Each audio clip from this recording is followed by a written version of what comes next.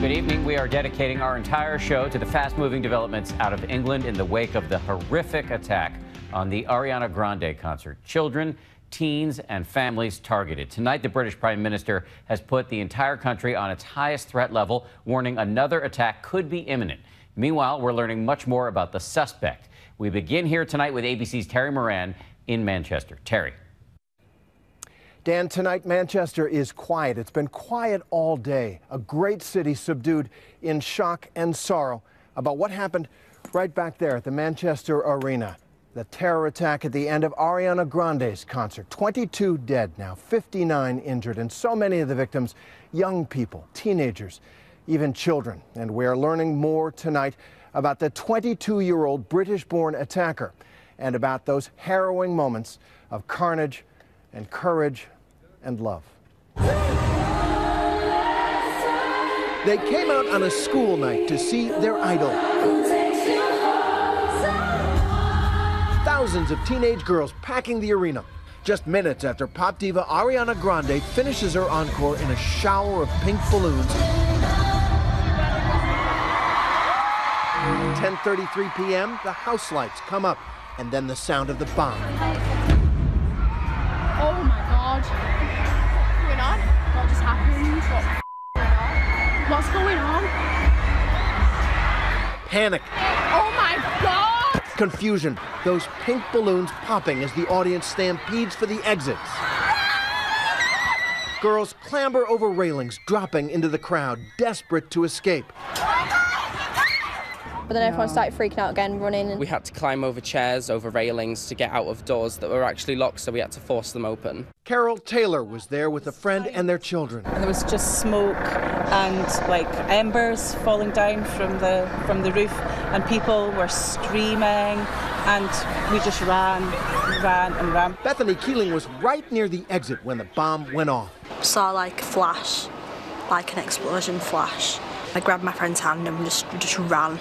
Um, but we looked and we could see the bodies on the floor. everybody around me just screamed and we just all ran and we just didn't know what to do. We thought somebody might have had like a gun or something. Victims were lying where they'd fallen. The ground was streaked with blood. I thought we were going to die. It was just horrendous.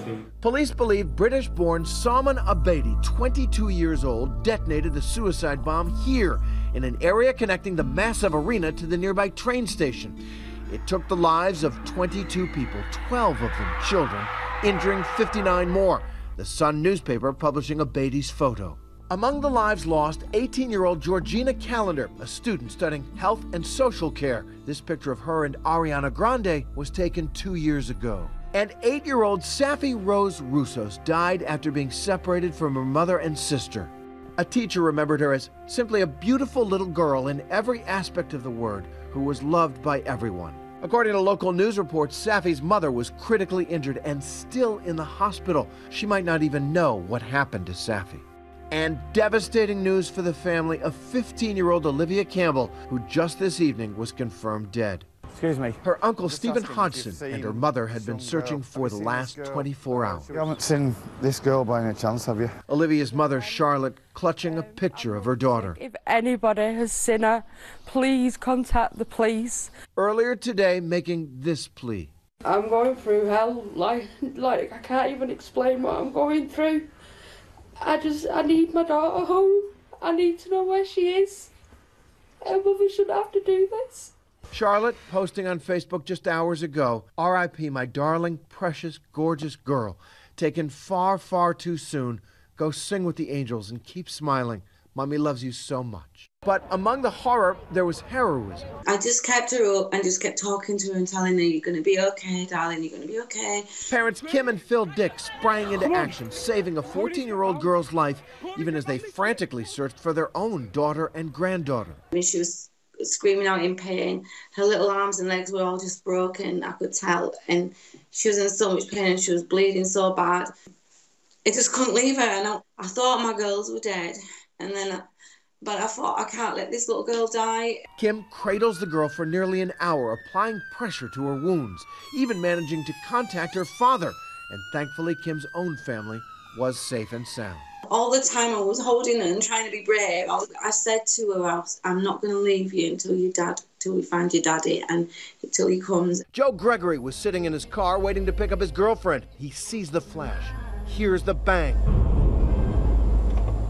and then it hits him. No! When the bomb went off, many parents were waiting outside to collect their kids after the show. For some of the youngsters, it was their first concert. Nick Hayward plunged into the fleeing crowd searching for his daughter, Caitlin. I was outside, just outside the venue itself, when we heard a massive bang. Inside, you're thinking, what am I going to do? What am I going to do? What am I going to do? And then you've got to think, I'm going to find her. I had that moment when I was working my way up the steps of, what am I going to find? You know, and in the back of your mind, you're thinking the worst. And then you saw her. Oh, just huge relief, huge relief, huge relief. It was almost like she'd been born again. you know, you know, you know. As a dad, you must know that moment, yeah. And you just go, "This is the best moment of my life." It was that all over again. 60 ambulances screeched to the scene, specialized teams rushing in, transporting patients to area hospitals. Call an ambulance quickly! That we're able to stabilise patients at the scene um, ensure that they receive the right treatment at the scene before evacuation to the hospital. But children as young as eight are still unaccounted for as authorities try to frantically reunite families. Among the missing, Chloe Rutherford and Liam Curry, Courtney Boyle and her boyfriend Philip Tron, Martyn Hett, separated from his friends at the end of the show, and Wendy Fawell, who hasn't been seen since the concert. Many taking their search to social media, pleading with users to help find the people still unaccounted for. For some, the social media pleas are working. This tweet indicating all of these people have been found. Let's keep going. The UK is now raising their terror threat level to critical, warning that more attacks could be imminent. It is a possibility we cannot ignore that there is a wider group of individuals linked to this attack. Manchester Police, Interpol, and UK law enforcement all in a frantic search to determine if the suspect had accomplices. Part of this response has seen us arrest a 23 year old man in connection with the attack. A neighbor filming today as armed security forces raided the suspect's modest brick home, armed with rifles and shields. Unconfirmed reports of a gentleman in his uh, mid to late 20s being removed at gunpoint from the address and whisked off quite quickly by armed officers. In the midst of all this fear and loss, the humanity of the people here in Manchester is on full display. Taxi drivers gave free rides to those trying to escape, while local businesses and residents offered a warm bed, a spot of tea. Ariana Grande tweeted right after the concert Broken. From the bottom of my heart, I am so, so sorry. I don't have words.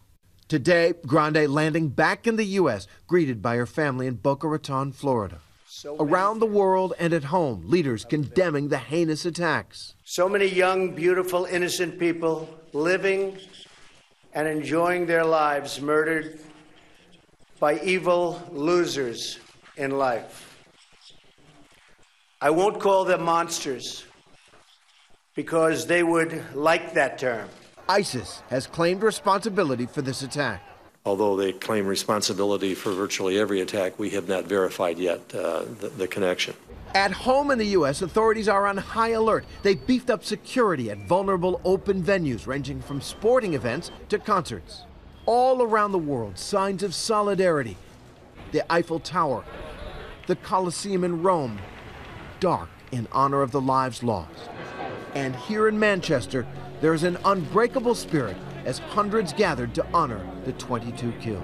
Whatever our religion, whatever our beliefs or our politics, we will stand together. Nothing, not even terror, can shake their will to carry on. It's just sort of in our blood here that you just get on with it. Events in France and uh, in England, we've got to stand together and don't change. Because they want us to change, don't they? They want us to hide, they want us to stay in, to be frightened of going to concerts and soccer games, and um, we're not going to do that. For Nightline, I'm Terry Moran in Manchester, England.